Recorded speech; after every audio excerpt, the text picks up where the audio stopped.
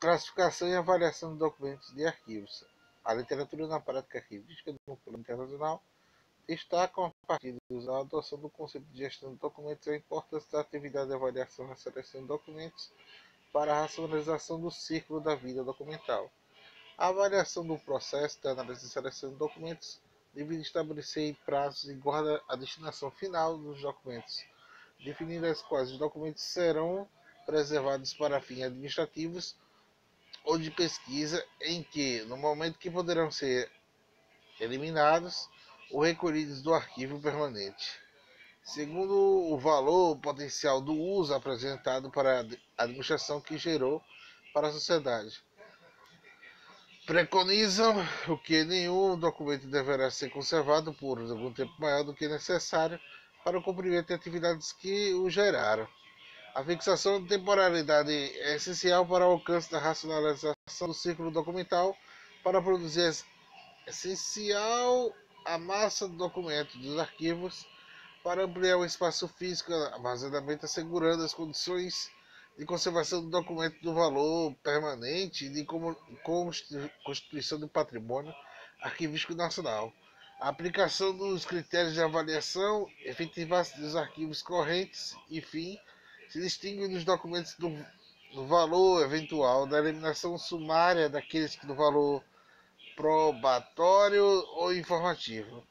Deve-se avaliar se a transferência para os arquivos intermediários de documentos que não tenham sido anteriores avaliados, pois o desenvolvimento do processo de avaliação e seleção destes arquivos tem se mostrado extremamente oneroso do ponto de vista técnico e gerencial bem como levado à formação de massas documentais volumosas, descaracterizando a função patrimonial dos arquivos, do apoio de atividades gerenciais.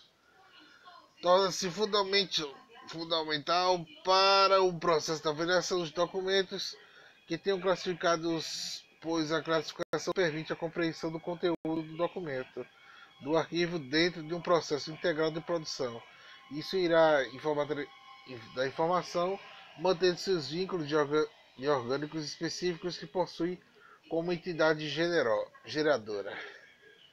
Segundo Schallenberg, a classificação é básica e eficiente na administração do documento correntes. Com isso, com os outros elementos que compõem as ações que visem efetivo controle do ciclo de vida do documento.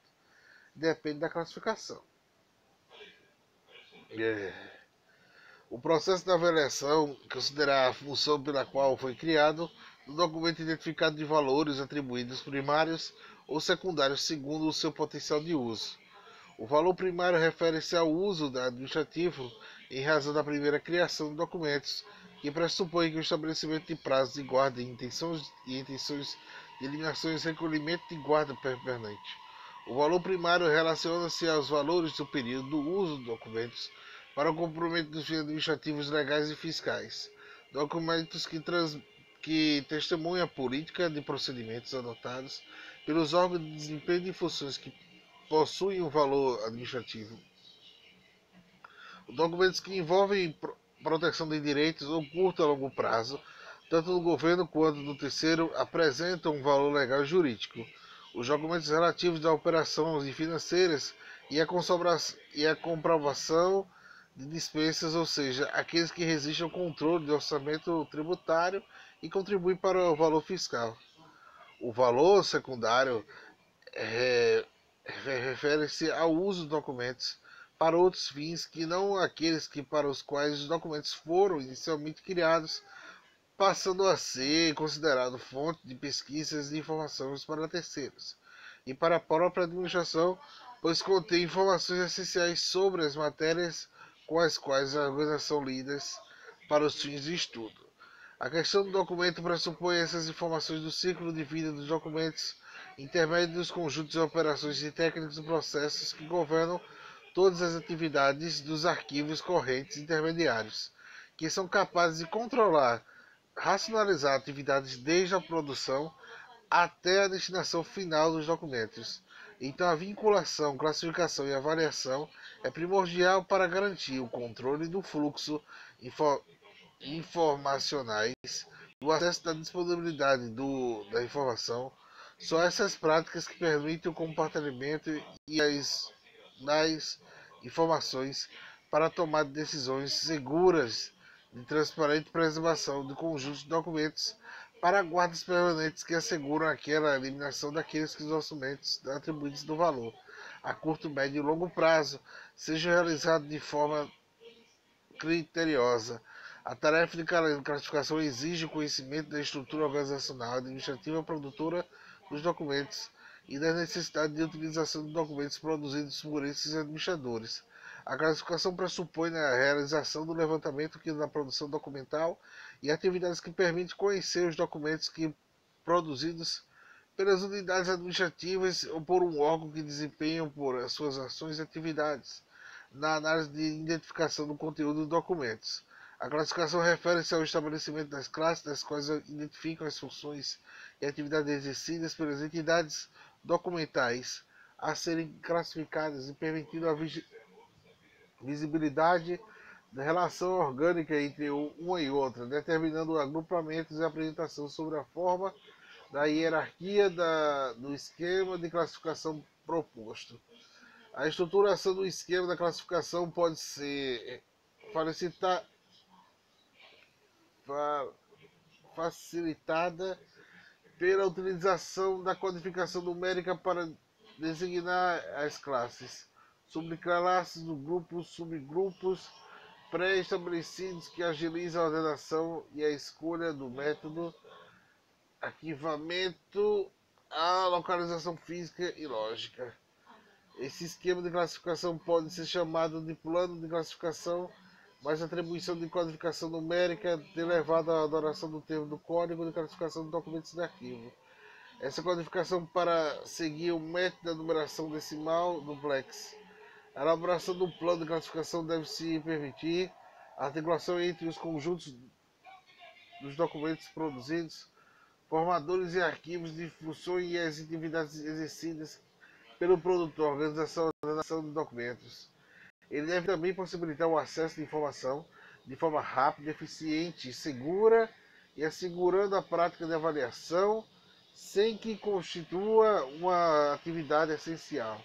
Para a racionalização do círculo da vida dos documentos, as atividades encontradas no processo de avaliação dos documentos são, de uma maneira geral, sequências e ausências de, de tratamento arquivístico a que se encontram submetidas a documentos produzidos, acumulados, tanto nas, nas instituições públicas quanto nas empresas privadas. A ausência da elaboração da implementação do programa de gestão de documentos tem ocorrido de forma sistemática em função da falta de recursos humanos, capacitação de execução de atividades por falta de instrumento técnico indispensável para a orientação do procedimento fundamental de classificação de organização e a análise da seleção documental. Esses fatores podem se adicionar desinteressante para administradores públicos privados que fecharam os olhos para as questões, que buscam soluções enquanto se faz necessária a liberação do espaço físico aborrotados de papéis. A solução para os conjuntos documentais acumulados para depósito de abarrotados de papéis são grandes desafios para os serviços arquivísticos, administrações públicas, não só do Brasil. A ausência de transmissão arquivística da administração dos arquivos correntes, ou seja, na preferência pela orientação do lugar, a classificação associada à validade dos métodos dos arquivamentos empregados a privilegiam os elementos de identificação de formas que estupem a destinação de um administrativo potencial dos documentos bem como viabilizar o estabelecimento de um critério de valor que orienta a tarefa de avaliação. É... A avaliação não se reduz a um processo mecânico e nem deve ser aceita pela possibilidade real de se converter tudo. A avaliação tem como um processo subjetivo baseado em uma intuição ou a suposição arbitrária do valor. Os critérios do valor devem ser considerados e não podem ser exatos ou precisos, e nem absolutos ou finais. A participação de outros profissionais, além do recomendável, é essencial para o processo de análise que exige conhecimentos especializados. O processo de avaliação deve ser visto como uma competência da administração dos arquivos correntes como uma forma que assegurar a sua organização. O levantamento dos prazos da guarda deverá ocorrer após a identificação dos documentos pelo processo de classificação, vincula-se à sequência de uso de informações e à existência de prazos legais a serem cumpridos ou chamados pelos prazos prescricio... prescricionais. prescricionais. A prática de prover a avaliação de outra idade, não seja a corrente, é considerada totalmente inadequada, pois os acervos acumulados encontram-se descontextualizados, na maioria das vezes são classificados e apresentados de características exigirão propósito. Ah, desculpa. de destinação acompanhamento justificativo específica a função e a tabela de temporalidade e a destinação dos documentos. Que droga.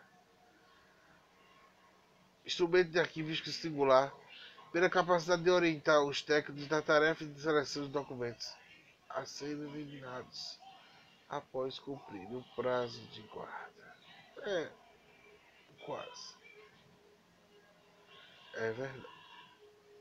P2, P2. Vou só P1 na minha cabeça. Ai, nas fases correntes intermediárias serem preservados como guarda permanente. A metodologia para a elaboração deve ser fundamentar essas funções e atividades desempenhadas pelos órgãos produtor, tornando-se por base um plano de classificação estabelecido em conjunto de documentos, identificado com valores primários e secundários. A eles são os atributos definidos para o prazo de guarda de determinação de destinação final que complete, com, contemple o valor sobre o ciclo de vida. Não há dúvida que a prática arquivística e a classificação de avaliação fundamentam-se na atividade de gestão de documentos. Entretanto, a elaboração da aplicação do plano de classificação de tabelas de, de temporalidade de destinação e instrumentos técnicos facilitando o controle do ciclo da vida, muitas vezes desprovidas e embasado ao teórico metodológico, proporcionando, proporcionando a função política de garantir o acesso de informação e da preservação da memória do patrimônio, nem sempre é explicitada. A classificação do documento e arquivística os fundamentos da escolha polêmica. Classificar e dividir as classes em grupos segundo as diferenças e semelhanças do conjunto de conceitos e categorias metodologicamente distribuídos em dis, dis, é, dispostos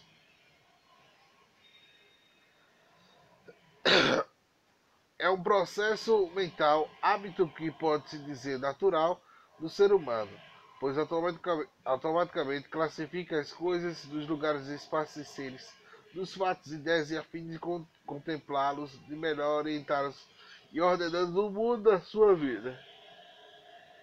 Para la Gride,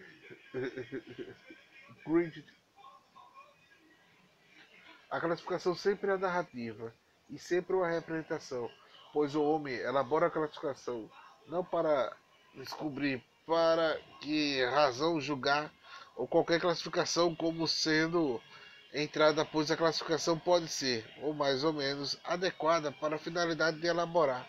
Algumas das classificações podem servir mais de propósito do que a outra.